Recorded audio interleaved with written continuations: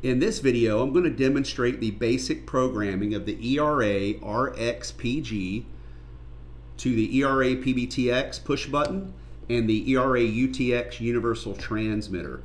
Now the ERA PBTX is an outdoor rated weather resistant push button. It features a green LED that illuminates when the center button is pushed to let you know that it is successfully transmitting. And at night it does emit a very faint low glowing green LED, and that's just so users can locate it easily.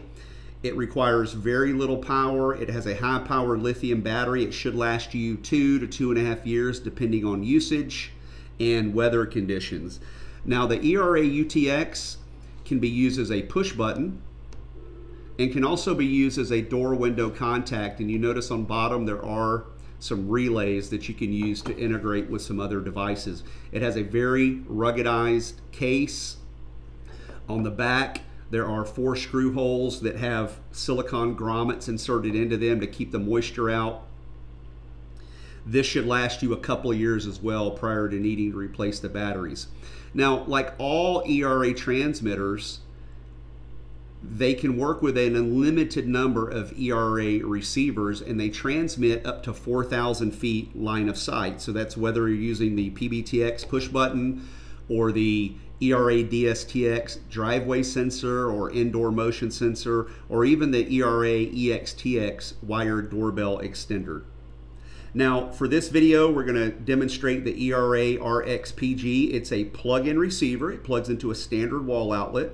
It's got three modes of operation that you select using this switch on the side. It can be sound only, strobe and sound, or strobe only. And that's great for a lot of different reasons. One of them is if you want to be in a quiet area and don't want to hear the doorbell, but you want to be notified, you can use a strobe light.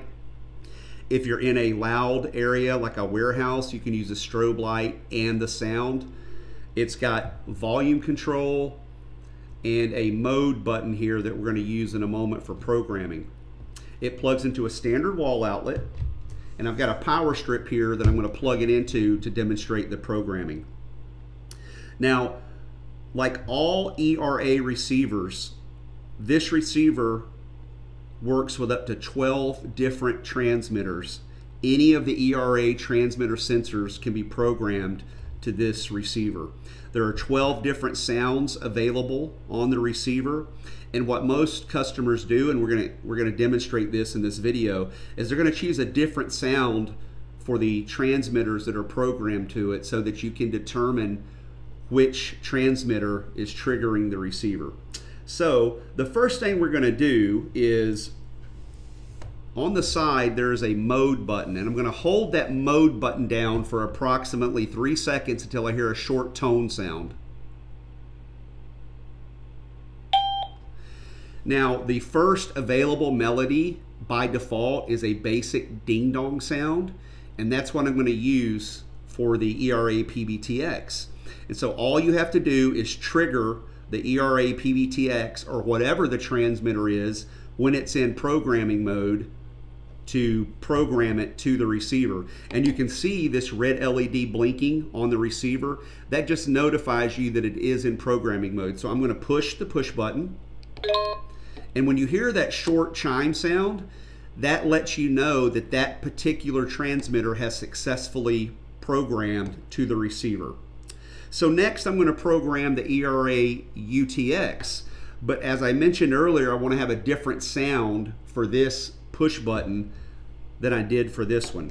So what I'm going to do is on the side, there's the mode button that we pressed earlier that put it in program mode. And there is a volume button. We're going to press this volume button to scroll through the available sounds or melodies.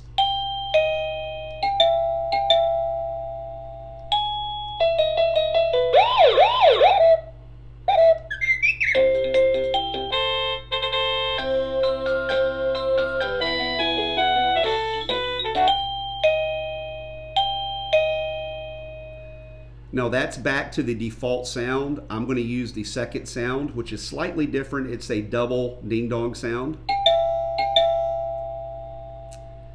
And now I'm going to trigger the UTX to program it to the receiver. Now keep in mind as a programming tip, if I'm using a DSTX as my transmitter or sensor that I want to program to this receiver, I'm going to trigger it slightly different, differently than I am the UTX, but I'm going to trigger the UTX.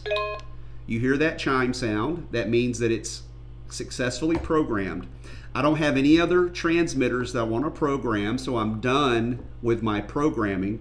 So what I'm going to do is hold down the mode button. So that's the lower button on the side until I hear that short tone again. Now, you notice the red LED stopped flashing. You heard that short tone. That means it's out of programming mode. So now we're going to test.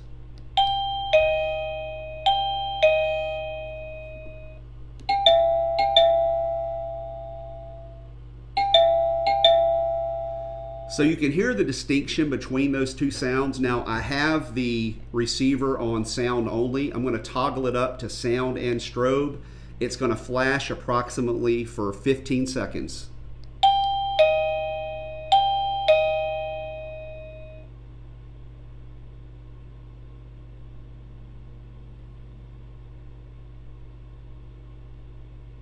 Same thing with the UTX.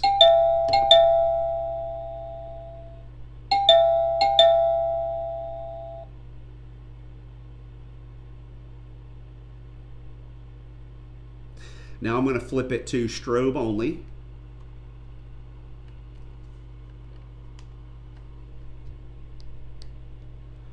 There's no sound and it's only flashing.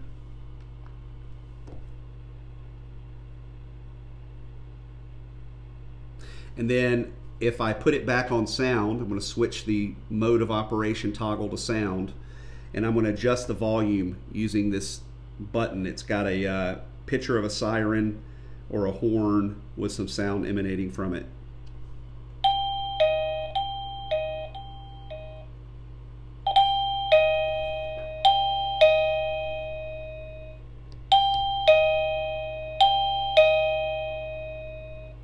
Now, just a quick programming note, you may be in a situation where you've programmed different things over time and you just kind of want to start fresh and start over. So what you're going to do is you're going to hold down the mode button. Once it enters programming mode, which you can tell it's in programming mode by the red LED, I'm going to hold down the sound and the mode button together. Oops. It starts blinking quickly and then I hear that short musical tone, there's no more flashing light that let me know that I have erased the memory. So if I go back and just test, you notice it's not working anymore because I deleted the memory.